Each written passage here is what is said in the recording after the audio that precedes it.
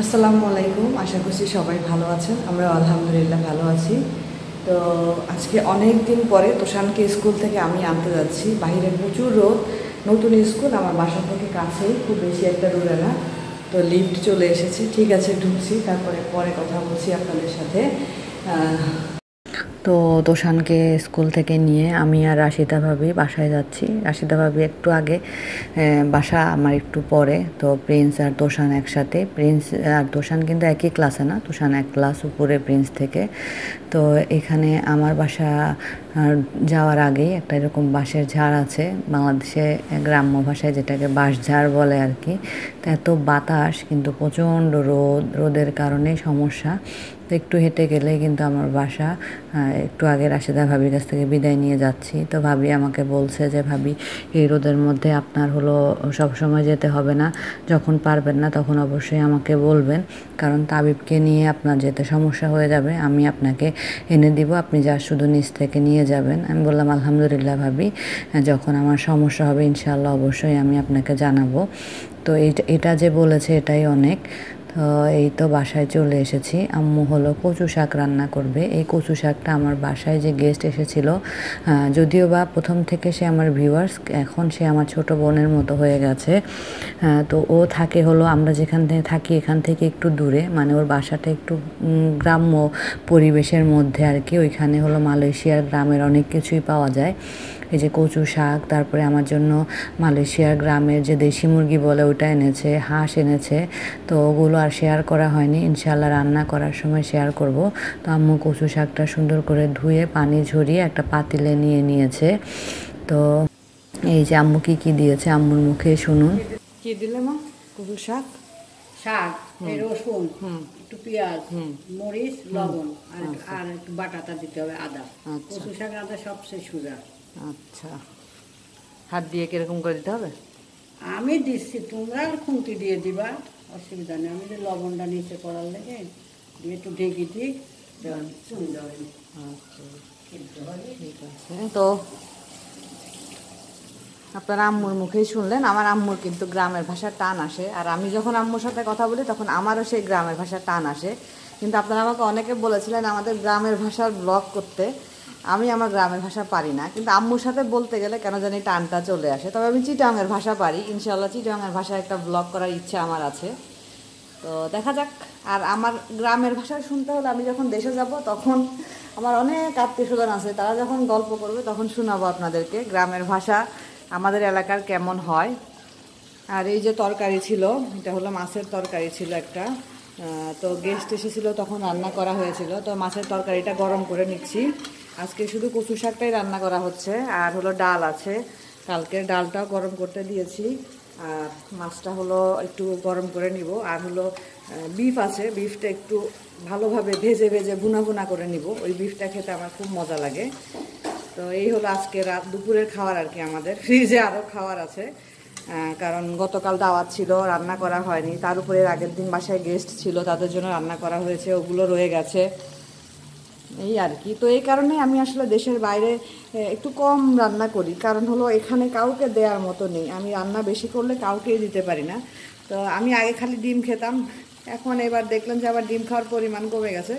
কারণ আম্মু ছিল, আম্মু রান্না বান্না করেছে। আম্মু তো ডিম অত পছন্দ করে না আমার মতো। তো ডিমটা খুব কমই খাওয়া হয়েছে। তো এটা গরম হয়ে গেছে। এটা বাটিতে তুলে নিই। এরপরে বিফটা আমি গরম করে নিব। চারটা জিরা আছে আচ্ছা ঠিক আছে তাহলে এটা কি মা এটা কি মশলা এটা ওটা তোলা উম, ভালো কিন্তু ভালো তুমি খাবা ওটার সাথে ওটা একটা ফ্রেশ তাহলে এটা আগে খাবা এটা আগে খেয়ে ফেলতে হবে আর হলো আর কি বক্স লাগবে ওই বক্স একটা আর ছোট বক্স যা কি তো কেমন ছোট বক্স এই যে তো আচ্ছা এই যে এরম এরা হচ্ছে তো একটু বড় তাই তো এই আর তো কচু শাকটা ওইভাবে সিদ্ধ করতে দিয়েছিল আম্মু সিদ্ধ মোটামুটি হয়ে এসেছে। এখন কি দিচ্ছে সেটাও দেখে নিন। আদা না? রসুন দাও। আর একটু পেঁয়াজ দাও। এই যে আগে আমার মারা এটা রসুন এটা পেঁয়াজ। পেঁয়াজ? রসুন এটা? রসুন এই কালার হয়ে যায়। রসুন হ্যাঁ। গরম দিচ্ছি আমার মারা কোনো শাকে তেল দিত না। কেন? ওই শাকে কেউ তেল দেয় কচুর শাকের মতো ইয়ে রাঁধা কি সহজ রাঁধা কি আছে? পেঁয়াজ অল্প তুমি দাও না তুমিও দাও। আমি দিই। এখন তো মানুষ দেয় যে শেষ। তো এগুলো দিয়ে আম্মু সিদ্ধ করতে দিয়ে দিবে। ফার্স্টে একটু নেড়ে চেড়ে নিচ্ছে, যাতে মশলাগুলো সব দিকে ছড়িয়ে পড়ে আর কি। এটা হলো আম্মুর কচু শাক রান্না করার নিয়ম। আম্মু মেনলি কচু শাক রান্না করে ইলিশ মাছের মাথা কাটা টাটা দিয়ে। তো ওটা যেহেতু এখন নেই, তাই এভাবেই রান্না করছে আম্মু। তো এটাই আপনি আপনাদের সাথে শেয়ার করলাম। ঢাকনা দিয়ে ঢেকে দেওয়া হলো। এখন এটা খুব ভালোভাবে সিদ্ধ হবে। চুলার আঁচটা কিন্তু মাঝারি পর্যায়ে আছে। তো এই যে সিদ্ধ হয়ে গেছে, আম্মু হলো পাতিল থেকে একটা কড়াইতে শিফট করে নিয়েছে, কারণ এখন ওরং দিয়ে এটাকে ঘুটে নিবে।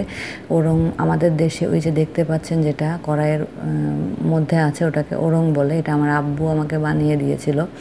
আব্বুর হাতে স্মৃতি যেটা বলে আর কি। তো অন্যান্য দেশে অনেকে ঘুটনি বলে, এটা কিন্তু যে নারিকেলের মালই আছে না, মালই কেটে বানানো। তো আম্মু এটা দিয়ে খুব ভালোভাবে এটাকে ঘুটে নিচ্ছে। তো আম্মুর হাতের কচু শাক আমার কাছে মজাই লাগে। কচু শাক বলতেই আমার কাছে প্রিয় জিনিস। কচু শাক দিয়ে আর কিছু না হলেও আমি তিন চার দিন এক নাগারে খাই, খাওয়াটা শেষ করতে পারব আর কি। তো খুব ভালোভাবে এটাকে ঘুটে নেওয়া হয়েছে। এখন হলো এটাকে তেলে দেয়া হবে। তো তেলে দেওয়ার পদ্ধতিটা খুবই সহজ। প্রথমে কড়াইতে তেল দেয়া হলো। তেল দিয়ে এখন কড়াইয়ের মধ্যে দিয়ে দেওয়া হবে হলো রসুন কুচি। তো এই যে আম্মু দুইটা বড় রসুনের কোয়া কুচি করে রেখেছিল, সেটা এর মধ্যে দিয়ে দিল। তো রসুন কুচিটা যখন ব্রাউন কালার হয়ে এসেছে, তখন শাক যে তুলে রেখেছিল সুন্দর করে ঘুটে, সেটা হলো দিয়ে খুন্তি দিয়ে একটু নেড়ে চেড়ে নিচ্ছে, যাতে সুন্দর করে এটা মানে তেলে দেওয়া হয় আর কি। আর একটু লাস্ট পর্যায়ে এসে এভাবে ওরং দিয়ে নেড়ে চেড়ে তাহলে হয়ে যাবে। তো হয়ে গেছে কিন্তু এখন হলো একটা বাটিতে তুলে নেওয়া হবে। পরে ইনশাল্লাহ আবার কথা বলছি আপনাদের সাথে। এখন ঠিক বাজে হলো সন্ধ্যা সাড়ে আটটা। সে যে সকালে আপনাদেরকে কচু শাকের রেসিপিটা দেখিয়েছিলাম এরপরে আর ক্যামেরাটা অন করা হয়নি। এরপরে ব্যস্ত ছিলাম, বাবু তারপরে আজকের ভিডিও এডিট এগুলো নিয়ে ব্যস্ত ছিলাম। তো আমি আর তুষানের বাবা, আমরা দুইজন বের হয়েছি, তাবিব আর তুষান বাসায় আম্মুর কাছে। আমাদের কিছু কেনাকাটা আছে, বিশেষ করে কেনাকাটা বলতে আমার কিছু বক্স কিনতে হবে বাসার আমি যখন বাসা চেঞ্জ করি, তখন আমার অনেক বক্স ছিল, কিন্তু বক্সগুলো পুরাতন হয়ে গেছে কারণে আমি ওগুলো ফেলে দিয়েছি। তো এখন আমার কিছু বক্সের দরকার। আম্মু হলো বাংলাদেশ থেকে আসার সময় মরিচের গুঁড়ো, হলুদের গুঁড়ো, ধনে জিরা গুঁড়ো, এগুলো সব করে নিয়ে এসেছে। এখন ওই গুঁড়োগুলো রাখতে হবে এয়ার টাইট বক্স লাগবে। আমি আগেও বলেছি যে আমার গুঁড়ো মশলাগুলো সবসময় বাংলাদেশ থেকেই আসে। আমি এখান থেকে কখনোই গুঁড়ো মশলা কিনিনি। আপনাদেরকে একটা জিনিস দেখাই। এই যে, এই জায়গাটাতে আসলেই আমার খুব ভালো লাগে দেখতে, যে দেখতে পাচ্ছেন কিনা জানি না। এই জায়গাটা খুব ভালো লাগে আমার কাছে, সুন্দর মনে হচ্ছে বৃষ্টি পড়ছে লাইটিংটা বৃষ্টির মতো করে পড়ে আর কি, খুব ভালো লাগে সবসময় আমি এই জায়গাটা যখনই রাত্রে এই জায়গাটা ক্রস করি, আমি এদিকে তাকিয়ে থাকি, তোষানো খুব মজা পাই এটা দেখলে। তো এখন যাচ্ছি আমাদের বাসার পাশে ইকো শপ। ইকো শপ বলে ওইখানে হলো যা আপনি কিনবেন সবই হলো দুই রিঙ্গিত দশ সেন্ট। দুই রিঙ্গিত দশ সেন্ট মানে কত টাকা বাংলাদেশি টাকায়? কত? বিয়াল্লিশ। হ্যাঁ, বিয়াল্লিশ টাকার মতো। আপনি যাই কিনবেন সেটাই হলো বিয়াল্লিশ টাকা আর কি। তো এই কারণে যাচ্ছি। ওখানে বক্স অনেক ভালো। আমি আগেও কিনেছি। ওখানে এইটুকু সাইজ থেকে শুরু করে বিগ সাইজের বক্সও পাওয়া যায়।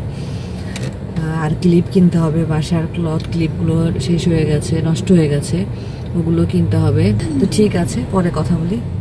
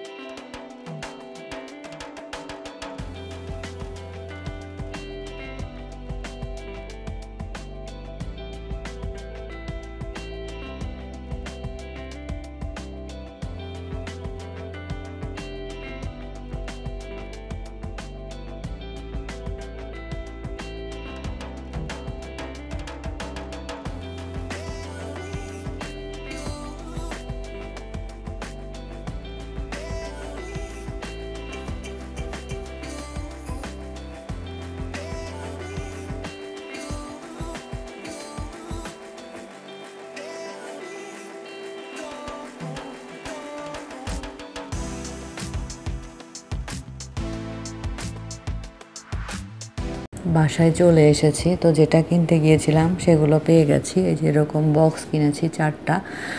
একটাতে হলুদ গুঁড়ো, একটাতে মরিচ, ধনে জিরা এরকম যাতে রাখতে পারি। আর ছোট সাইজের বক্স কিনেছি তিনটা। এই ছোট বক্সগুলো লাগে। তো বাবুর কাপড় শুকাতে দেওয়ার জন্য এই যে ক্লিপ সহ হ্যাঙ্গার পেয়েছে, পেয়ে গেলাম আর কি। তো এটা দেখে ভাবলাম যে এটা তো কাজে লাগবে, এটা কিনে নিই এটা কিনেছি। তারপরে যেখানে ক্লথ ক্লিপ কিনেছি, এখানে আছে হলো পাঁচ ডজন।